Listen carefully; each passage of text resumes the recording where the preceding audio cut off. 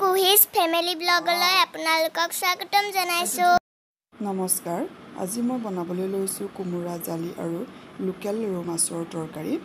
এয়া মাছ ধুই পখালি চাফা কৰি লৈছোঁ।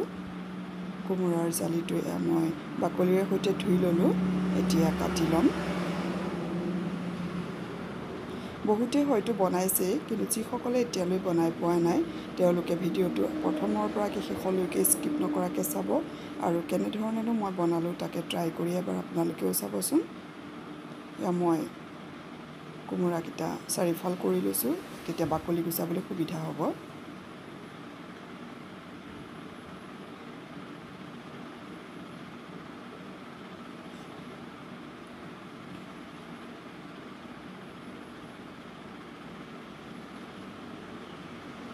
বাকলি গুচাই হৈ গ'ল। আলু তিনিটা লৈছোঁ বাকলি গুচাই ধুই লৈছোঁ। আলুকেইটা চাৰিফাল কৰি লৈ মই পানীত অলপ সময় তিয়াই থ'ম। তেতিয়ালৈ মই কোমোৰাটো সৰু সৰু টুকুৰা কৰি কাটি ল'ম। বিভিন্নজনে বিভিন্ন ধৰণে এই তৰকাৰীখন বনায়। মইনো কেনেকৈ বনাওঁ আপোনালোকে চাই লওকচোন। পাচলি কটাৰ ওপৰত নিৰ্ভৰ কৰি পেলাই তৰকাৰী বা চব্জিখনৰ সোৱাদ বেলেগ বেলেগ হয়। মই আজি এয়া সৰু সৰু টুকুৰা কৰি পেলাই বনাবলৈ লৈছোঁ। কাটি হোৱাৰ পিছত মই এটা কুকাৰত এয়া আলু আৰু কোমোৰাখিনি দি দিলোঁ। অলপ নিমখ দি দিছোঁ। নিমখ দিয়াৰ ফলত পাচলিখিনি সুন্দৰকৈ গলি যাব। পাচলিখিনি ঢাক খোৱাকৈ মই পানী দি দিছোঁ।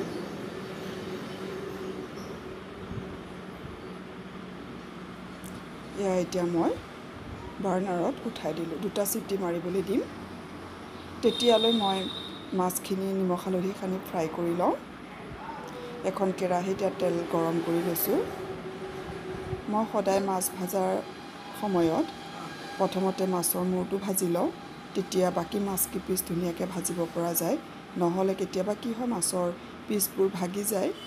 যদি মাছৰ মাথাটো প্ৰথমতে ভাজি লোৱা হয় তেনেহ'লে বাকী মাছৰ পিচকেইটা ভাগাৰ সম্ভাৱনা নাথাকে।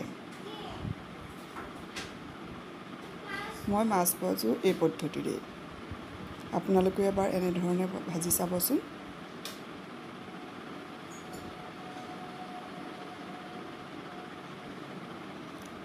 মাছৰ মাথা পিছত মই হালধি কম হোৱা যেন পাই হালধি অকণমান দি লৈছোঁ।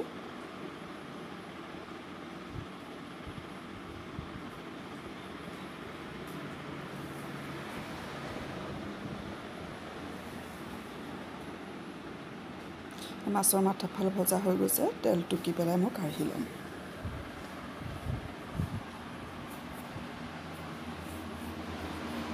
এতিয়া বাকী মাছ কিপিচ দি পেলাই ভাজিম?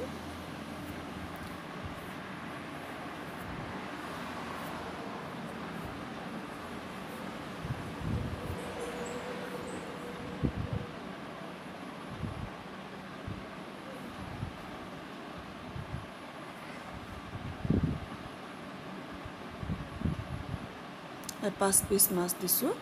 এইখিনি ৰঙচুৱা হোৱাকৈ ভাজিম। এয়া ভাজা হৈ গৈছে। মাছ কিপিচ দেখি খাওঁ খাওঁ লাগিছেনে বাৰু আপোনালোকৰ? মই হ'লে ভজা মাছ খাই খুব ভাল পাওঁ। কোনে কোনে ভাল পায় আপোনালোকৰ কমেণ্ট কৰি জনাবচোন। এয়া ভাজি হোৱাত মই কাঢ়ি ল'লোঁ। আকৌ বাকী মাছখিনিও মই তেনেকৈয়ে ভাজি ল'লোঁ। কুকাৰটোৱে দুটা চিটি মাৰিলে কুকাৰটো ঠাণ্ডা হোৱাত মই এয়া তৰকাৰী বনাবলৈ লৈছোঁ। ঠাণ্ডা হোৱাত মই তৰকাৰীখন বনাবলৈ ওলাইছোঁ। মাছ ভজাৰ তেলখিনি মোৰ ৰৈ গৈছে সেই তেলতেই মই তৰকাৰীখন বনাম। যিহেতু মই মাছ ভাজোঁতে তেল অকণ সৰহকৈ দিছিলোঁ গতিকে মোৰ তৰকাৰী বনাবলৈ তেল ৰৈ গৈছে। আপোনালোকক যদি তেলৰ প্ৰয়োজন হয় তেনেহ'লে অকণমান তেল এড কৰি ল'ব পাৰে। এয়া মই তেজপাত আৰু শুকান জলকীয়া তেলত দি দিলোঁ। অকণ লৰাই লৈছোঁ ৰঙচুৱা হোৱাকৈ। এইখিনি জিৰা পেষ্ট এইখিনি কটা পিঁয়াজ আৰু এইখিনি আদা নহৰু পেষ্ট।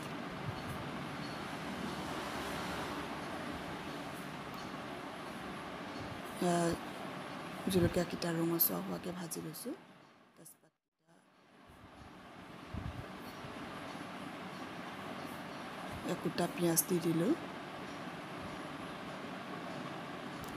আদা নহৰু পেষ্টখিনিও দি দিছোঁ লৰাই লৈছোঁ জিৰা পেষ্টটো মই দি দিলোঁ এতিয়া মছলাখিনি সুন্দৰভাৱে মই ভাজিম কেঁচা কেঁচা গোন্ধটো আঁতৰি যাব আৰু তেল বিৰিঙি উঠিব ধুনীয়াকৈ মছলাৰ গোন্ধ আহিছে আপোনালোকে জ্বলা খালে জলকীয়া দি দিব ইয়াতে। মই জ্বলা দিয়া নাই। ধুনীয়াকৈ তেল বিৰিঙি আহিছে দেখিছেনে? ধুনীয়া গোন্ধ এটা ওলাইছে মছলাৰ।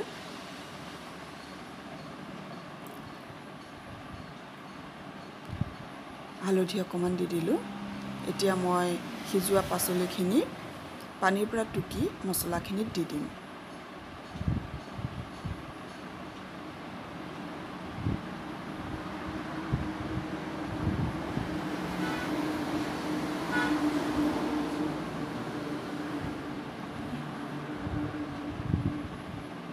এতিয়া এইখিনি মই ধুনীয়াকৈ পাঁচ মিনিটমানৰ কাৰণে লৰাই লৰাই ভাজিম যাতে মছলাখিনি ধুনীয়াকৈ মিলি যায় ইয়াৰ লগত। এনেকৈ সিজোৱা পাচলিখিনি যদি তেলত বা মছলাখিনিৰ সৈতে এনেধৰণে ভাজা হয় তেতিয়া তৰকাৰীখনৰ সোৱাদটো বৰ ধুনীয়া হয় খাবলৈ। যদি এনেধৰণে বনোৱা নাই এবাৰ বনাই চাবচোন। সোৱাদৰ কথাটো ক'বই নালাগে। এতিয়া পাচলি সিজোৱা পানীখিনি মই ইয়াতে দি দিছোঁ। মই আৰু বেলেগ পানী এড কৰা নাইকিয়া। আপোনালোকৰ যদি তৰকাৰীখন কম হোৱা যেন পায় তেনেহ'লে উতলা গৰম পানী এড কৰিব পাৰে। মোৰ এইখিনি জোখতে হৈ গৈছে।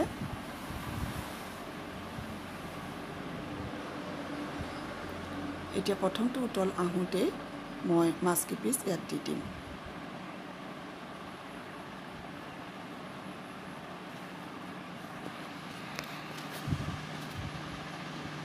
ধুনীয়াকৈ উতল আহিছে। মই পোন্ধৰ মিনিটমানৰ কাৰণে উতলাম। মান ধনিয়া পাত মই দি দিছোঁ। এনে সুন্দৰ কালাৰ আহিছে। গোন্ধটো যে কি ধুনীয়া হৈছে। ভিডিঅ'টো কেনে পালে আপোনালোকে কমেণ্ট কৰি জনাবচোন। ভাল লাগিলে লাইক শ্বেয়াৰ কৰিব। ছাবস্ক্ৰাইব কৰিবলৈ নাপাহৰিব। কাষতে থকা বেল আইকনটো প্ৰেছ কৰি দিব। ভিডিঅ'টো শেষলৈ চোৱাৰ বাবে ধন্যবাদ। আজিলৈ আহোঁ। নমস্কাৰ।